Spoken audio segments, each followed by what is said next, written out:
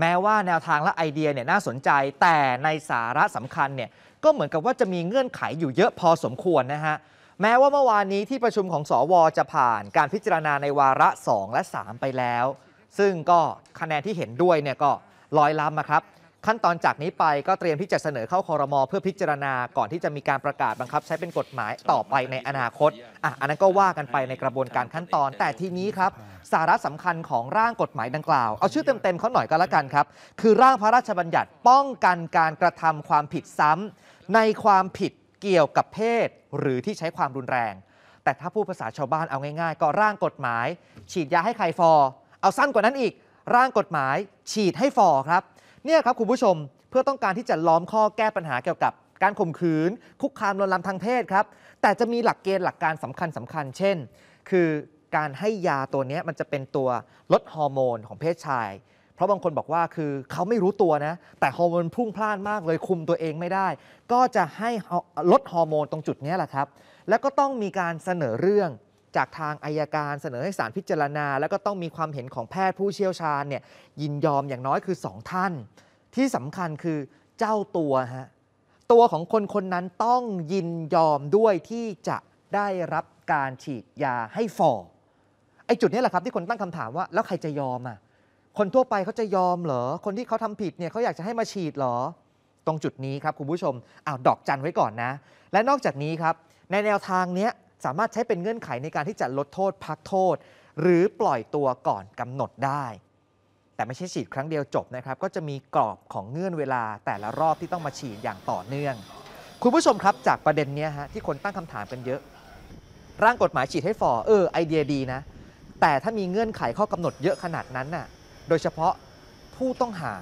หรือคนคนนั้นต้องยินยอมด้วยเนี่ยใครจะยอม เราไปคุยกับพี่บุ๋มปนัดดาครับคุณผู้ชม คุณปนัดดาวงผู้ดีครับ เธอบอกว่าเธอเนี่ยนะเป็นหนึ่งในทีมที่ร่วมผลักดันกฎหมาย ฉบับนี้ และเป็นหนึ่งในกรรมธิการพิจารณาของทางสภาด้วยนะครับ เธอบอกว่าพยายามที่จะผลักดันร่างกฎหมายดังกล่าวเนี่ยกว่า 8 ปีนะฮะที่ผ่านมาความผิดพวกข่มขืนกระทำชำเราเด็กอัตราโทษต่ำแล้วบางคนพอสารภาพปั๊บได้รับการลดโทษให้กึ่งหนึ่งติดคุกไม่นานออกมาอ้าวทำผิดเหมือนเดิมกลับเข้าไปใหม่ แล้วก็ออกมาแล้วก็ทำผิดซ้ำๆอยู่แบบนี้ ทีนี้มีข้อมูลครับจากแพทย์ผู้เชี่ยวชาญบอกว่า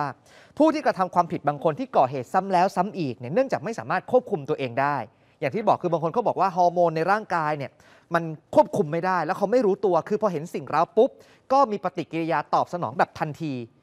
หักห้ามใจไม่ทัน ดังนั้นตรงจุดนี้นะครับ แพทย์ผู้เชี่ยวชาญบอกว่าจึงต้องมีมาตรการในการมาควบคุมครับ และบางคนอ้างว่าสิ่งที่เขาทำมันเป็นรสนิยมส่วนตัว แต่ทำให้คนอื่นเดือดร้อน อันนี้ก็ต้องจัดการ อย่างเกาหลีใต้ครับอะยกเคสเทียบให้ดูหน่อย มีการฉีดยาลดฮอร์โมนเพศชาย แต่ไม่ต้องขอความยินยอมมีแบบนี้มานานแล้วด้วยนะครับ ก็เลยอะเอาแนวทางแนวคิดเนี้ยมาปรับใช้ในประเทศไทยซิแต่ด้วยความที่เรื่องนี้อาจจะเป็นเรื่องใหม่ คือได้ยินแค่ชื่อร่างกฎหมายบางคนก็สะดุ้งแล้วโดยเฉพาะผู้ชายอย่างเราท่านๆนะฮะ หุย มันต้องฝ่อมันต้องฟีบมันต้องแฟบขนาดนั้นเลยเหรอเนี่ยแต่จริงๆแล้วมันคือการฉีดยาลดฮอร์โมนเพศชาย ลดความกระตุ้นต้องการทางเพศแบบนั้นนะฮะคนก็อาจจะกังวลว่าเอ๊ร่างกฎหมายนี้มันจะรุนแรงไปหรือเปล่า ดังนั้นจึงต้องค่อยๆ เริ่มแบบค่อยเป็นค่อยไป ก็เลยมีการบัญญัติใช้มาตรการนี้ควบคู่กับดุลยพินิษของแพทย์ผู้เชี่ยวชาญ และเจ้าตัวต้องยินยอมด้วย ย้ำครับ คุณบุ๋มปนัดดาย้ำว่านี่เป็นเพียงแค่จุดเริ่มต้น ในอนาคตคงจะต้องมีการปรับ เปลี่ยนแก้ไขให้เข้มข้นขึ้นลองฟังฮะ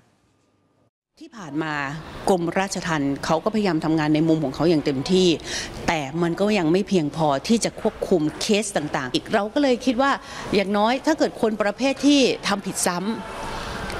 ก็ควรจะไม่ให้มันใช้การได้ไหม เพราะเกิดเขาชอบแบบนี้แสดงว่าเราคงห้ามเขาไม่ได้จริง ๆ สิ่งที่พี่กำลังสู้อยู่ พี่ถึงพยายามทำตั้งแต่ปี 57 จนถึงตอนนี้มาเป็น 10 ปีเนี่ยคือทำกฎทีละข้อให้มันเข้มขึ้น เข้มขึ้น และอุดช่องว่างให้มากขึ้น แต่นี่คือสิ่งที่มันต้องค่อยเป็นค่อยไป ดังนั้นขอให้อีกกฎเนี้ยอีฉีดให้ฟอร์เนี่ยมันเข้ามาในเมืองไทยให้ได้ก่อน แล้วเดี๋ยวค่อยจัดการเพิ่มโอเคไหม พี่ไม่หยุดแค่นี้แน่นอน พี่บุ๋มสัญญาแล้วว่าไม่หยุดแค่นี้แน่นอนนะครับในอีกมุมหนึ่งครับทนายเดชากิติวิทยานันท์ก็เป็นนักกฎหมายชื่อดังเนี่ยให้มุมมองเกี่ยวกับร่างกฎหมายนี้เหมือนกันนะครับ บอกว่าเอาจริง ๆ แล้วในทางปฏิบัติเนี่ยมันน่าจะเป็นไปได้ยากนะในประเทศไทยอะเพราะว่ามันจะไปติดเงื่อนไขที่ว่าเจ้าตัวต้องยินยอมด้วยไงฮะดังนั้นทนายเดชาก็เลยเสนอแนะแนวทางบอกว่า เอาจริง ๆ ถ้าจะแก้ปัญหาเรื่องข่มขืน ความรุนแรงการกระทำทางเพศที่ไม่เหมาะสมเนี่ยไม่ลดโทษเลย ดีกว่าไหม ฟังมุมมองและไอเดียจากทนายเดชาหน่อยฮะมันก็เป็นแค่ทฤษฎีอยู่ในกฎหมายอะนะครับ ถึงเวลาแล้วก็คงไม่มีใครยอมให้ฉีดไข่ฟอหรอกนะครับ เพราะว่ามันต้องอาศัยความยินยอมค่ะนะครับ อย่ามีการลดโทษ พักโทษ แค่นั้นแหละค่ะสมมุติว่าจำคุกตลอดชีวิตก็ให้มันอยู่จนตายไปเลยอืม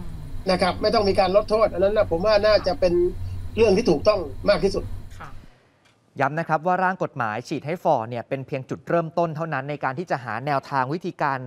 แก้ไขกับปัญหาความรุนแรงทางเพศ การข่มขืน ที่มันเกิดซ้ำๆซ้ำๆจากคนคนเดิมบางคน อาจจะมีการปรับให้เข้มข้นขึ้นในอนาคต อุดช่องโหว่ต่างๆ ก็ถือว่าเป็นนิมิตหมายที่ดี จับตามองกันต่อจากนี้ไปครับคุณผู้ชม วันดีสนุกฟรีดีทุกวัน วันดีโหลดฟรีได้แล้ววันนี้